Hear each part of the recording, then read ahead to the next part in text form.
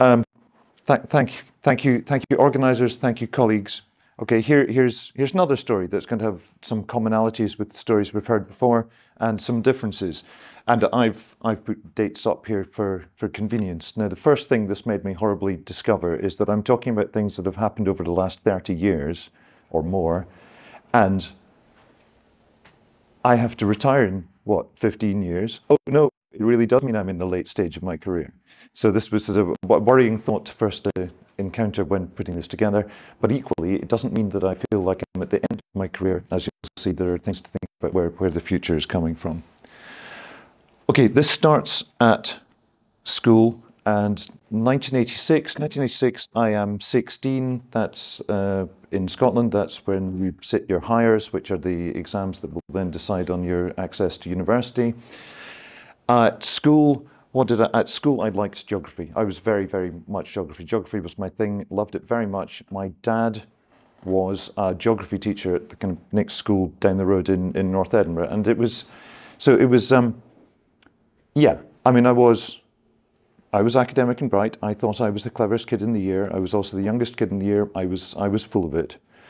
The, and other things that I liked at that time, I liked, okay, there's school, things that I'm good at were geography, things that I liked were drama and football.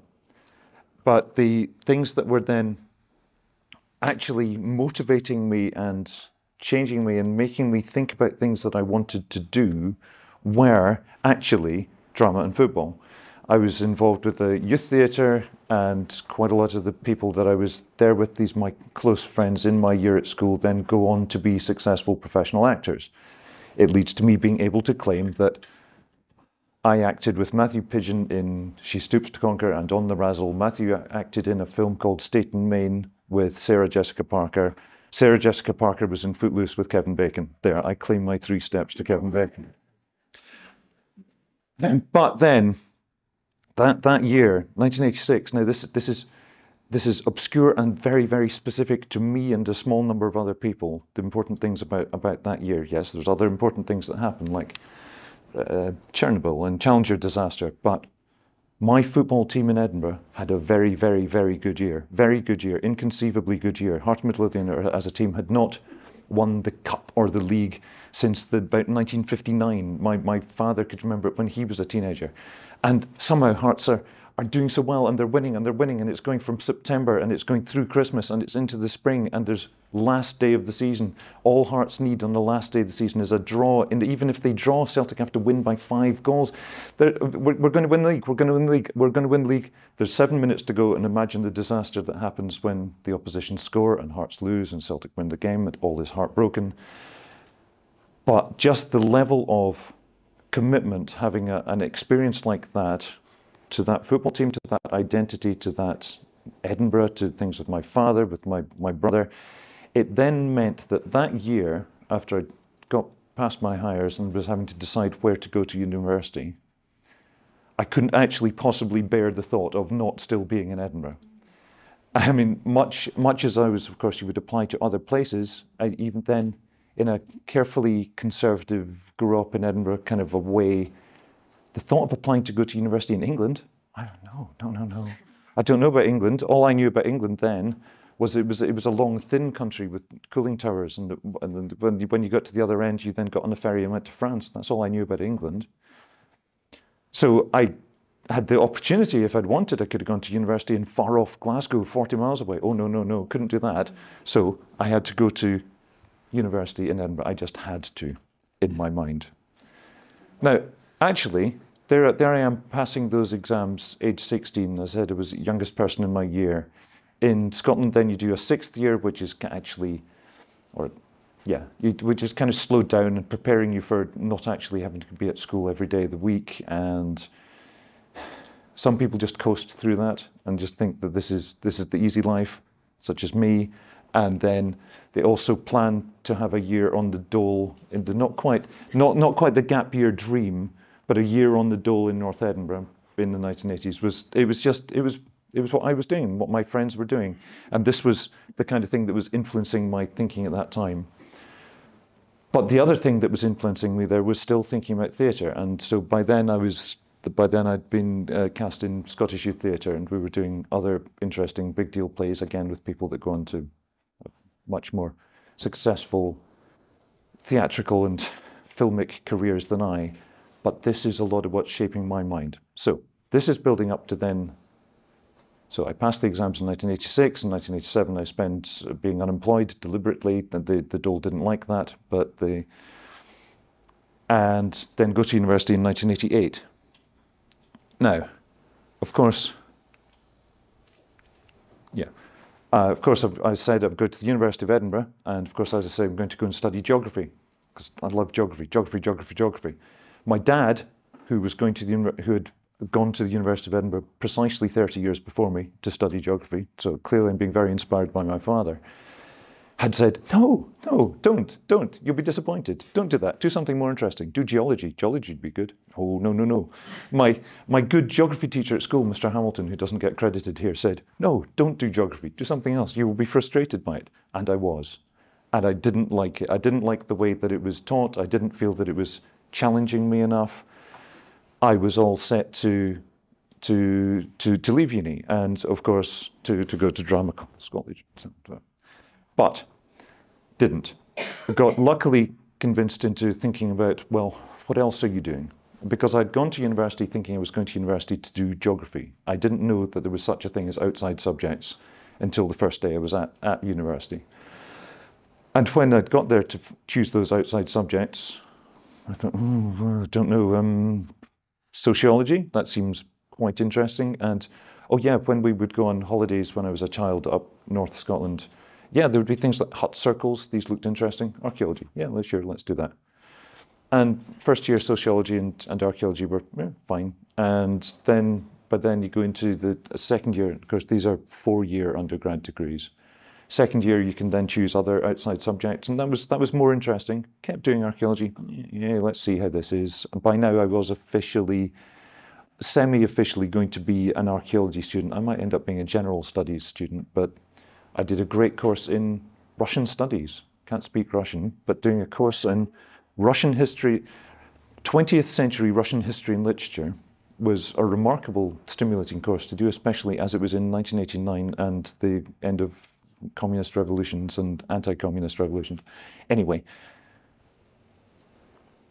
but then I, sorry Doug, I keep moving around. Um, and so then, by then, let's see, end of second year, it gets pointed out to me that I have to go and do some field work to, to do this geography thing. And I'm not sure about field work. It sounds like I'm being face down in a muddy hole in the ground, and I don't think I want to do that. But the opportunity to do field work there was in to go to France, to go to Mont Beuvray in, in Burgundy, fantastic Iron Age site, fantastically interesting archaeology. I suddenly discovered that I do like being face down in the hole in the, mud. I do like being in France. I do like learning about drinking wine. I and I do start my first adult relationship. My first girlfriend is someone that I meet when we were both students digging there, and this is this is then very important.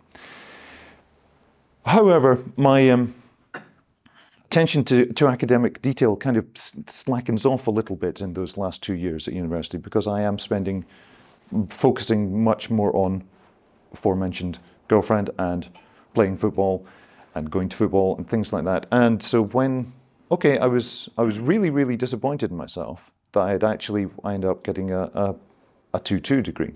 Eh, a two two is a perfectly good degree, but I was disappointed in myself with that. And the feedback I got right there, and perhaps the most motivational thing that I've ever heard, was from my my undergrad supervisor, who's Ian Ralston, who some people might know, who, when the results got posted up, and he looked and he saw, he said 2 2, and he said, mm, good field workers degree, and that, that motivated me so much that being a good field worker was not the, the sum total of my ambitions. So there, it's that there at that point I've been I finished my, my degree. I did some fieldwork in Cyprus as well. So I was being in France and Cyprus, and this was good. And when I was in Cyprus, I uh, was then offered another opportunity by uh, Eddie Peltenburg, who taught in University of Edinburgh as well. He gave me a chance to go back to Cyprus to do some interesting stuff about doing some experimental archaeology, building, building uh, reconstructions of Chalcolithic houses. And then from that, the opportunity to be a research assistant in his office back in Edinburgh. And that led me on a little path over the next three years where every summer I was going off to Cyprus and to Syria with Eddie Peltenburg. And every winter I was back in Scotland. And this was kind of the wrong way round to be doing that. that but, but it meant that I was learning about having opportunities to do interesting, interesting stuff in Southwest Asia. I was having lots of responsibility when I was doing that. You, you suddenly find that you're running a team with uh, 12, 15 work men is an exaggeration of work teenagers while, while you're digging. But I'm not really getting paid very much. I'm getting, I'm getting a place to live and an experience and a kind of some beer allowance. And then in the winter, I'm back in Scotland and Doing some field work, doing some early, early commercial archaeology work. And so there, and I'm getting paid well, an acceptable amount. Don't, don't have any responsibility. Don't have any responsibility for anything beyond my own wheelbarrow. But it was an interesting kind of trajectory. Uh, the, the work in Cyprus and Syria also leads to me then having opportunities to go digging in other places like in Israel and in Lebanon.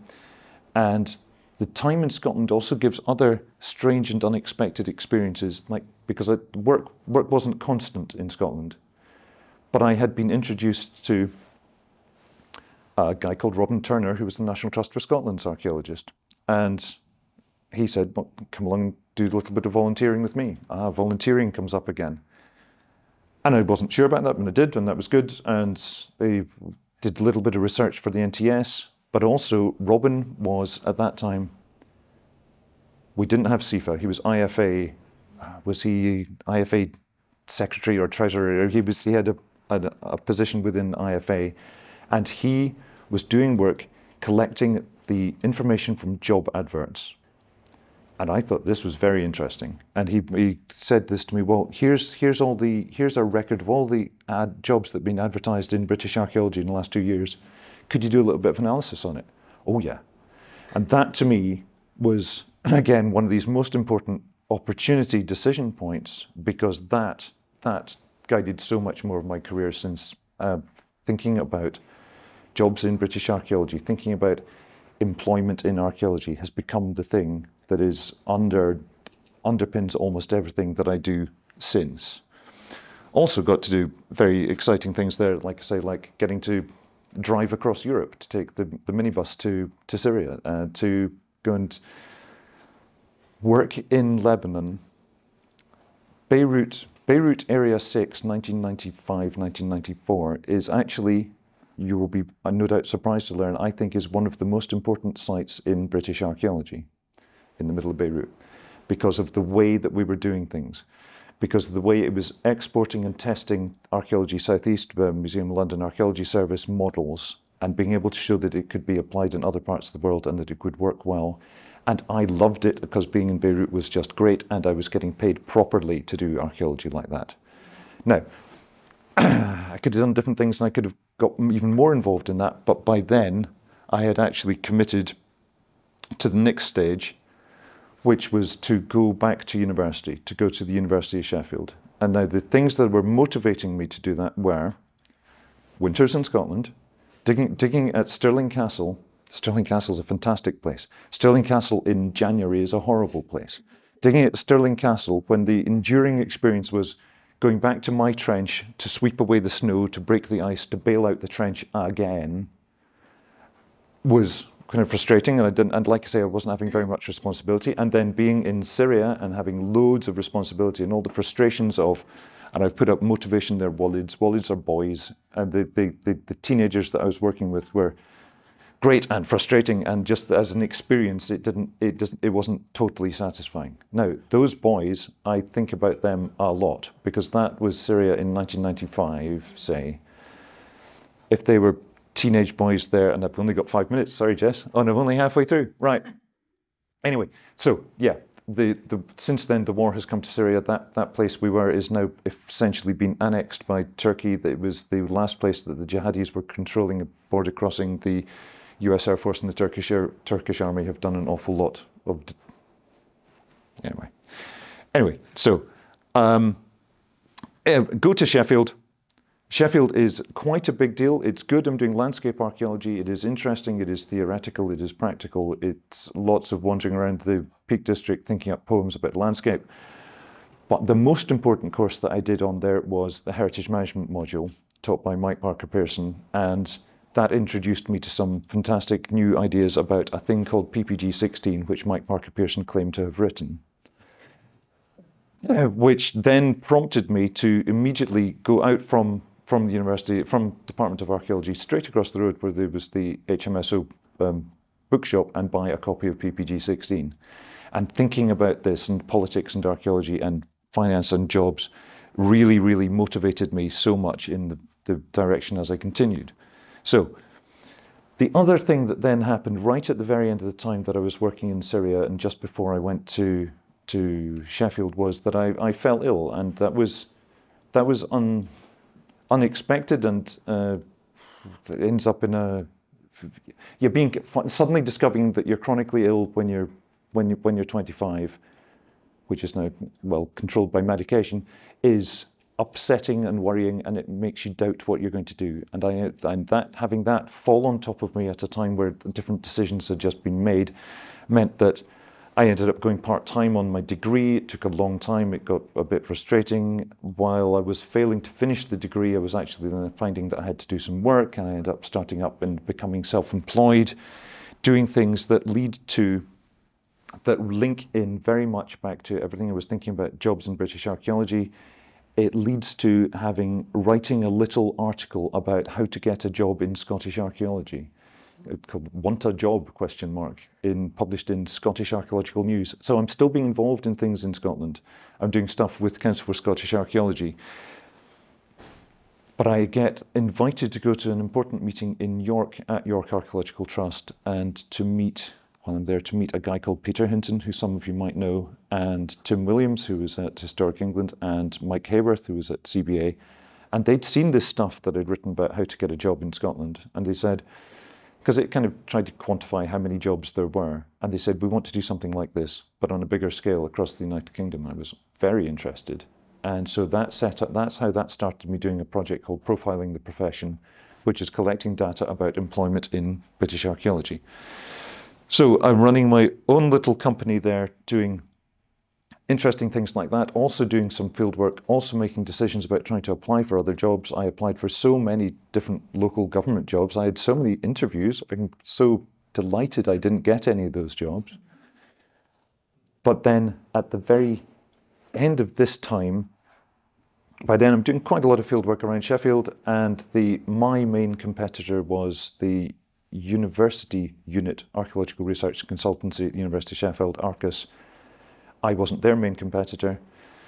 Their kind of project manager guy leaves. That's Paul Belford, who some of you might know. I apply for that job. I get that job. I go to work for Arcus. The and that looks like this is where I'm going to be, I think. But I'm not there for a year. And when that previously aforementioned Peter Hinton gives me a phone call, and this this this is again the utterly key decision point that phone call from Pete Hinton, that phone call that we then later referred to as him cold calling, was to ask me if I wanted to apply for a new job that CIFA had just created, which was called Head of Training and Standards.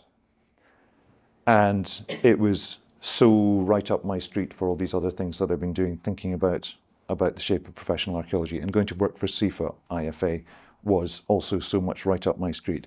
And so that leads to going to work for CIFA in 2001. And then I'm at CIFA for nine years. The job, the job grows, the job changes, CIFA changes, but I still, I'm still able to be doing this interesting stuff about profiling the profession, repeating profiling the profession, getting opportunities to talk to people about doing this on a bigger scale, getting opportunities to work at a European level to find out about European funding and do projects like that. It is just expanding out all these different routes, opening my mind to different things that I, I could keep doing that is very like what I'm already doing, but just bigger and better. And then there's a global financial crisis. And then uh, CIFA has to declare that every single job at the organization is at risk of redundancy. And, and then it's my job that gets made redundant. Well, that's all right in the end. Peter, Pete, Peter Hinton makes and breaks my, my CIFA career. No, he doesn't. No, he doesn't. Global financial conditions make and break my, my CIFA career. So that means that I am then back out of CIFA, and what I want to do is I want to go back to running my own company. And here we are, very specifically, I'm able to, I'm made redundant on the Friday. The Sunday is the, the 10th of the 10th of 2010. So it's day zero, and then the new company is born, and we move forward and we start doing more things that are, are again, still stuff that I'm interested in about heritage management and employment and the like. And we again, we do doing profiling the profession and we're doing the European stuff. And most, very interestingly at this point, I'm pointed out that I could do a PhD by research publication at, back at the University of Edinburgh, and that would involve putting together some of these reports, and I am wrapping it up, please, putting, wrapping these things up and explaining why that they're worthwhile. And then I'm doing other interesting political things, and most importantly at this point is that I am then offered an opportunity, no, interviewed for an opportunity at FAME to become, have being chief executive of FAME being one of the, the my contracts that I, I do through my own company. That's a great chance that I have and that I'm, I'm offered and able to do, and that lets me continue to do this stuff relating to work and employment, but it's getting more and more political and involved. It is, um, yeah.